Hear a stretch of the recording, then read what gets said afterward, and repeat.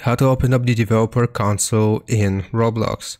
So the first thing that we want to do is open up the game that we want to open up uh, the developer console in. So I'm just going to do this one as an example here. Open Roblox game client and I'm going to show you two methods of how we can actually do this. So just give it some time for the game to load and after the game has loaded what we want to do is just click on the chat here type slash and then type console. If we press enter, it will load up the developer console here if we have access to it. Now, another way of how we can actually do this is by simply pressing the F9 key on our keyboard. So once we're inside the game, if I press F9, it will show me the developer console here, the memory logs, and all of this info. So I hope this helps you out. Leave a like and sub, and I'll see you next time.